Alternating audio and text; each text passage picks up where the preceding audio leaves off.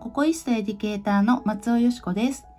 今日は11月に発売された新色のアイボリーシリーズを使って冬にぴったりなツイードネイルのご紹介をしていきます。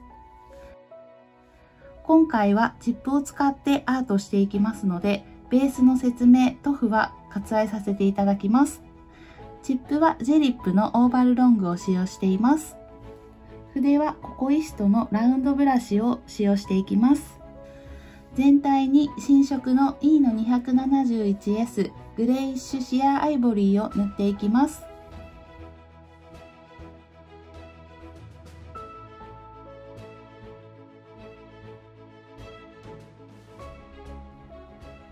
薄くきれいに二度塗りしていきます。先ほど塗りました新色にこちらのカラーでツイードの柄を描いていきます。筆はココイストのショートライナーを使用していきます。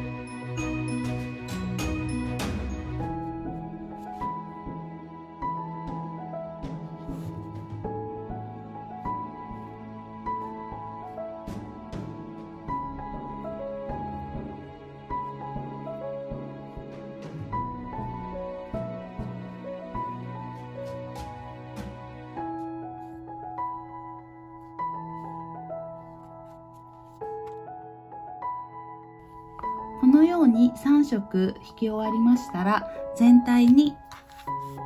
マットコートジェルポリッシュを塗って硬化させます。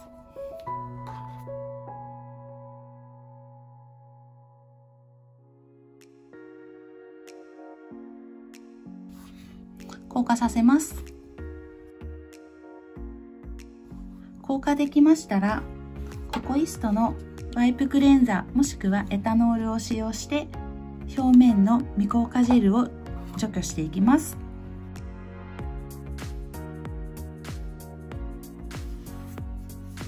今回このココイストのワイプを使用しているんですがこちらのワイプはコットンを圧縮して作られているものになりますので非常に毛羽立ちにくくサロンワークでもすごく活用しますので是非ご活用してみてください。取りましたらマーカーズラインのホワイトを使って再び線を引いていきます。最初に引いた3色が隙間から見えるようにバランスを見て引いていきます。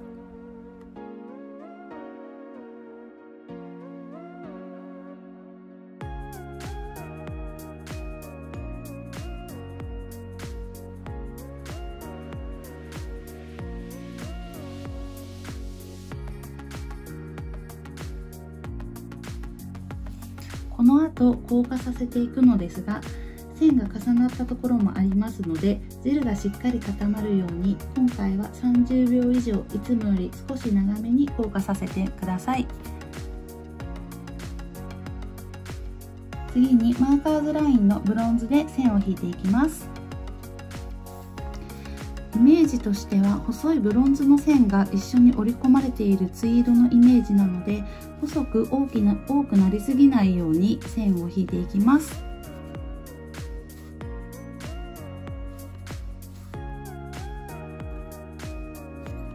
硬化させていきます。マーカーズラインはノンワイプのタイプなのであえて今回は線の凹凸を埋めないようにこの上には何も塗らないで進めていきます。マーカーズラインのホワイトで雪に見せたいところを描いていきます。この時に使用する筆はココイストのショートライナーを使用していきます。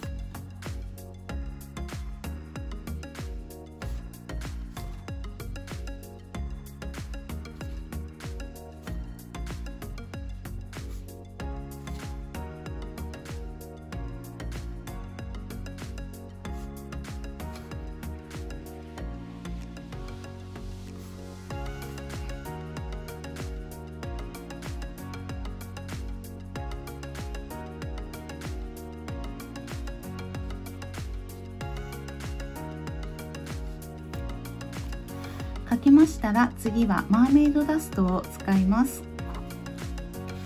このマーメイドダストは微粒子で光り方がとてもとても綺麗でお上品な仕上がりになります。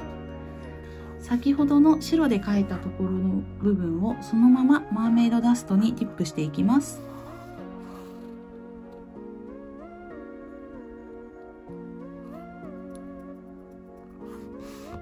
上からマーメイドダストをつけるのでジェルがしっかり固まるように30秒以上いつもより少し長めに硬化してください。周りについた余分なマーメイドブラシをこちらのココイストのカメリアブラシを使って払っていきます。このカメリアブラシはチークブラシのような優しい肌触りで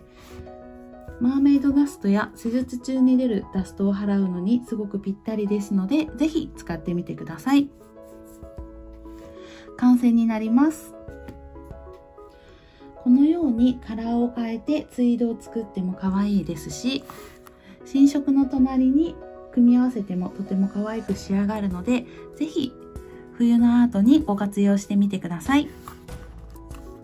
ココイストは全国に優秀なエデュケーターがたくさんおります。お近くのエデュケーターまたはオンラインセミナーも開催しておりますので、ホームページのエデュケーターリストまたはインスタグラムのココイストアンダーバーセミナー .jp にセミナー情報が記載されていますので、先生方に直接お問い合わせください。